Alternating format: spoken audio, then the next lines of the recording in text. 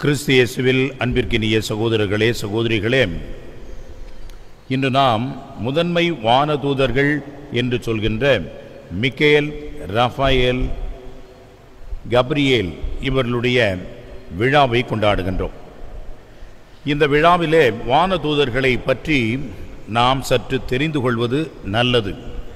முதலிலே வானதூதர்கள் இருக்கின்றார்களா? அவர்கள் யார்? ஆண்டவர் இயேசு வாழ்ந்த காலகட்டத்திலே பரிசேயர் சதுசேயர் என்று இரண்டு வகுப்பினர்கள் இருந்தார்கள்.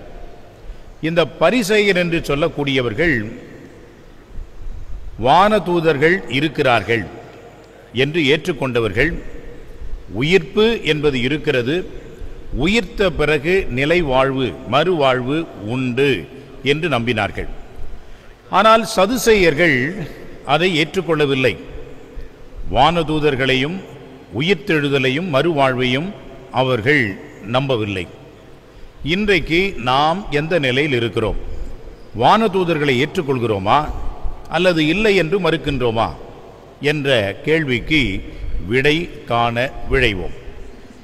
திருப்பாடல் எண் எட்டு நான்காம் வசனத்திலே இப்படி சொல்லப்பட்டிருக்கிறது. மனிதனை ஒரு பொருட்டாக நீர் கணிப்பதற்கு அவன் யார்?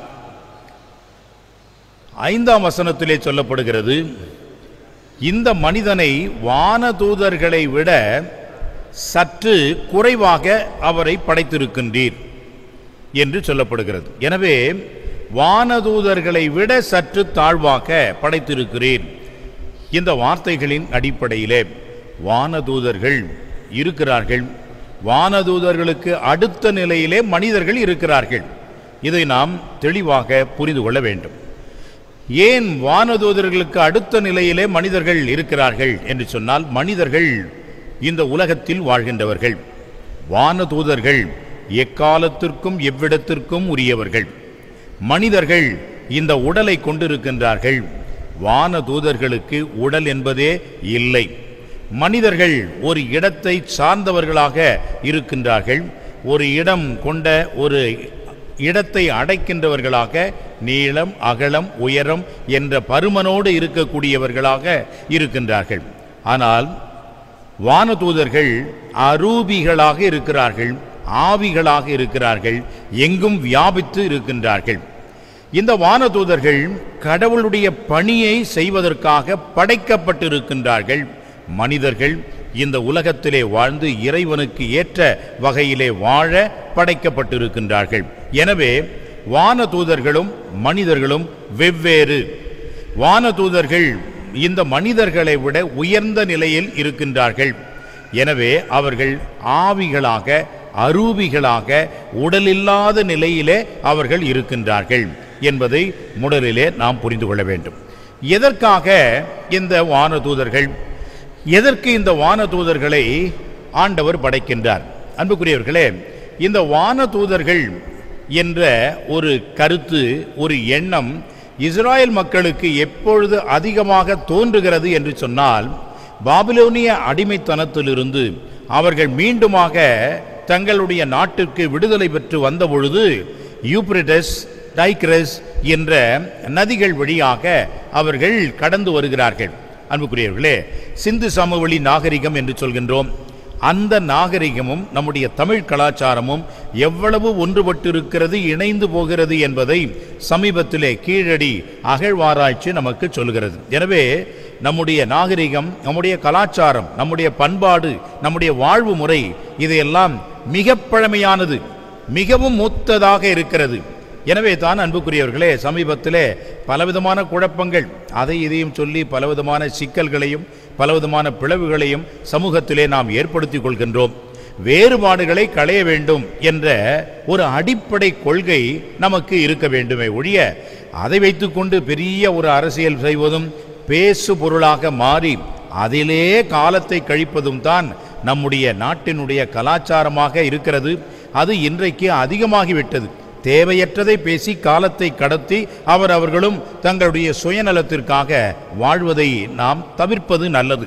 ஆனால் அந்த காலங்களிலே பாருங்கள் மனிதர்கள் எப்படியெல்லாம் வாழ்ந்திருக்கிறார்கள் என்பதை நம்முடைய முன்னோர்களுடைய நம்முடைய மூதாதையர்களுடைய வாழ்வு நமக்கு மிகப்பெரிய ஒரு எடுத்துக்காட்டாக இருக்கிறது.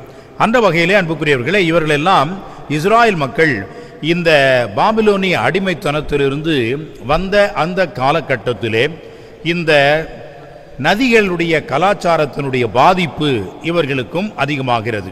அப்பொழுதுதான் இவர்கள் வானதூதர்களை பற்றி அதிகமாக சிந்திக்கின்றார்கள். கடவுளை விட இந்த வானதூதர்களை அவர்கள் வேண்டி கேட்டுகின்ற அந்த பழக்கம் ஏற்பட்டது. அன்புக்குரியவர்களே இவர்களெல்லாம் படைப்புகள்.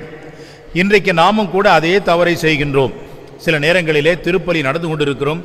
நற்கருணை இங்கே நாம் கொண்டாடி கொண்டிருக்கின்றோம். ஒரு சில பேர் என்ன செய்வார்கள்? அந்தோனியார் சுரூபத்துக்கு முன் நின்று வேண்டிக் கொண்டிருப்பார்கள். அல்லது சூசையப்பர் சுரூபம் முன்பாக நின்று வேண்டிக் கொண்டிருப்பார்கள். அவர்களுக்கு தெரிந்ததெல்லாம் அந்தோனியார் தான் கடவுள். சூசையப்பர் தான் கடவுள். இல்லை. சூசையப்பரையும் அந்தோனியாரையும் படைத்தவர் இங்கே பீடத்திலே வருகிறார். அதை நாம் கருத்தில் கொள்ள வேண்டும். திருப்பலியை மறந்து விடுவோம். ஆனால் இது போன்ற சுரூபங்கள் முன்பாக நின்று புனிதர் வணக்கத்தை நாம் மேற்கொள்கின்றோம். அது தவறு. அது செய்யக்கூடாது. ஆனால் இந்த இஸ்ராயல் மக்கள் அதைத்தான் செய்தார்கள். எனவே இந்த வானதூதர்கள் என்ற அந்த நிலையிலே இருந்தவர்களை அவர்கள் வழிபட்டார்கள். அவர்களுக்கு அவர்கள் முக்கியத்துவம் கொடுத்தார்கள். அதையும் மாற்றி கடவுள் ஒருவரே என்பதுதான் இறைவனுடைய படிப்பினையாக அவர்களுக்கு அளிக்கப்பட்டது. எனவே அன்புக்குரியவர்களே இந்த வானதூதர்கள் எதற்காக படைக்கப்பட்டார்கள்? அவர்களுடைய வேலை என்ன? ஏஞ்சல்ஸ் ஏஞ்சல் என்ற வார்த்தைக்கு என்ன பொருள் என்றால் தூதுவர் அம்பாசிடர். இந்த தூதுவர் அம்பாசிடர் என்று சொல்லக்கூடியது செய்தியாளர். இந்த செய்தியாளர் என்று சொன்னால் செய்தி வேற செய்தியை தாங்கிச் செல்கின்றவர் வேறு என்பது அல்ல. இந்த செய்தியை தாங்கிச் செல்பவரே செய்தியாக இருப்பார். அதுதான் வானதூதர். எனவே கடவுள் எப்படி இருக்கிறாரோ அரூபியாக இருக்கிறாரோ கண்ணுக்கு புலப்படாமல் இருக்கிறாரோ அவ்வாறு இந்த வானதூதர்களும் கண்ணுக்கு புலப்படாத வகையிலே அரூபியாக இருக்கிறார்கள். இறைவனுடைய தூதுவர்களாக தூதர்களாக பணியாளர்களாக அவருடைய பணியை செய்வதற்காக படைக்கப்பட்டவர்களாக இருக்கிறார்கள். அன்புக்குரியவர்களே இந்த வானதூதர்கள் மிக முக்கியமாக கடவுளுக்கும் மனிதருக்கும் இணைப்பாளர்களாக இருக்கின்றார்கள். எனவே கடவுள் அரூபியாக இருக்கிறார் எங்கும் இருக்கிறார் அவர் நாம் காணாத வகையில் இருக்கின்றார். மனிதர்கள் இங்கே இருக்கின்றோம் காண்கின்ற வகையில் இருக்கின்றோம். இந்த கடவுளுக்கும் இந்த மனிதருக்கும் இடையில் இருக்கின்ற இணைப்பாளராக செய்தியாளராக செய்தியை தாங்கி வருகின்றவர்களாக தொடர்பாளர்களாக இருக்கின்றவர்கள் தான் அன்புக்குரியவர்களே இந்த வானதூதர்கள். அத்தகைய வானதூதர்களிலே முதன்மையான வானதூதராக இருக்கின்றவர்களைத்தான் இன்றைக்கு நாம் கொண்டாடுகின்றோம். முதலிலே மிக்காயல் என்று சொல்லக்கூடிய அந்த வானதூதர். இந்த வானதூதரை பல நேரங்களிலே நாம் சுரூபங்களிலே பார்த்திருப்போம். கையிலே ஒரு ஈட்டியை வைத்து பேயின் தலையை குத்தி கொண்டிருப்பார். ஒரு காலகட்டத்திலே அன்புக்குரியவர்களே நம்முடைய புதுச்சேரியிலே எனக்கு தெரிந்து வில்லியனூரிலே ஒரு கடிகாரம்.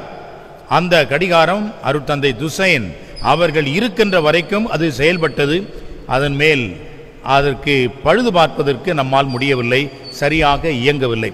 அப்பொழுது என்ன செய்யும் என்று சொன்னால் ஒவ்வொரு மணி கடந்த பிறகும் அந்த கடிகாரம் ஒலிக்கும். எத்தனை முறை? ஆறு மணி என்று சொன்னால் ஆறு முறை அது ஒலிக்கும். ஒவ்வொரு முறையும் ஒலிக்கின்ற பொழுது அந்த ஈட்டியிலே அந்த மிக்கேல் அதிதூதர் கீழே காலால் மிதித்து கொண்டிருக்கின்ற அந்த பேயை குத்துவார். அந்த பேயினுடைய நாக்கு வெளியே வரும் ஒவ்வொரு முறையும். இதை பார்ப்பதற்கே மக்கள் அதிகமாக கூடுவார்கள் என்று சொல்வார்கள். அன்புக்குரியவர்களே இது எதை காட்டுகிறது என்று சொன்னால் மிக்கேல் என்ற ஒரு அதிதூதர் முதன்மை தூதர் இருக்கின்றார். அவர் யார் என்பதற்கு திருவெளிப்பாட்டு நூலிலே பனிரெண்டாம் அதிகாரத்திலே ஏழாம் வசனத்தம் தொடங்கி வருகின்ற அந்த நிகழ்விலே நாம் பார்க்கின்றோம். மிக்கேல். இதுதான் அந்த வார்த்தையினுடைய பிரித்து பொருள் கொள்ளக்கூடியதாக இருக்கிறது. மிக்கே எல் என்று சொன்னால் கடவுளுக்கு நிகராக யார்? இங்கே லூசிஃபேர் என்று சொல்லக்கூடிய ஒரு தூதர் வானதூதர் தலைமையிலே மிகப்பெரிய ஒரு போர் நடக்கிறது.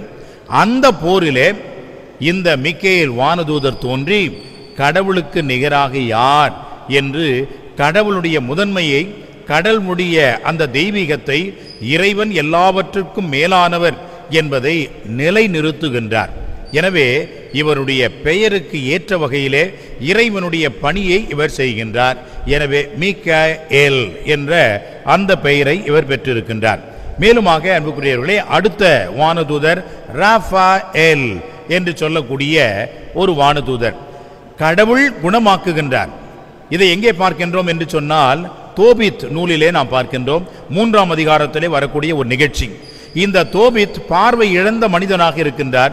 இவருக்கு மீண்டுமாக பார்வை கிடைக்கிறது. அந்த பார்வையை கொடுக்கின்றவர் இந்த ரஃபாኤல் என்று சொல்லக்கூடியவர். கடவுள் குணமாக்குகின்றார் என்பதின் அடிப்படையிலே குணமாக்குகின்ற அருட்பணியை செய்கின்ற ஒரு வானதூதர் தான் ராஃபாኤல் என்று சொல்லக்கூடியவர். மூன்றாவது வானதூதர் முதன்மை வானதூதர் கபிரியே எல் என்று சொல்லக்கூடியவராக.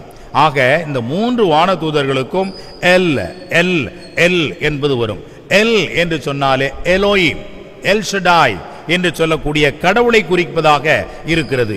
இந்த கபரி ஏல் என்ற அந்த வானதூதருடைய பணி என்னவென்று சொன்னால் செய்தியை சொல்வது மங்கள செய்தியை கொடுப்பது. அன்னை மரியாவுக்கு மங்கள செய்தியை கொடுத்தது யார்? கபரியேல். எனவே இத்தகைய பணிகளை இவர்கள் செய்வதற்காகவே கடவுள் இவர்களை படைத்திருக்கிறார். இவர்களில் முதன்மையானவர்களாக இருக்கின்றவர்கள் தான் இந்த மூன்று முதன்மையான வானதூதர்கள் இன்னும் பல வானதூதர்கள் இருக்கின்றார்கள். ஆண்டவர் இயேசுனுடைய வாழ்க்கையிலே பார்க்கின்றோம். அவருடைய நாற்பது நாட்கள் உபவாசத்திலே வானதூதர்கள் அவருக்கு உடனிருந்து பணி செய்தார்கள் என்று சொல்லப்படுகிறது. ஆண்டவர் இயேசுனுடைய கெச்சமணி தோட்டத்தினுடைய வேதனையிலே பார்க்கின்றோம். அவரோடு வானதூதர்கள் இருந்து அவரை தேற்றினார்கள் என்று சொல்லப்படுகிறது. எனவே வானதூதர்கள் நம்மோடு இருக்கின்றார்கள். அதற்காகத்தான் இறைவன் அவர்களை படைத்திருக்கிறார். முதன்மை வானதூதர்கள் இறைவனுடைய பணியை செய்ய அனுப்பப்பட்டிருக்கின்றார்கள். அவர்கள் நம்மோடு இருக்கின்றார்கள்.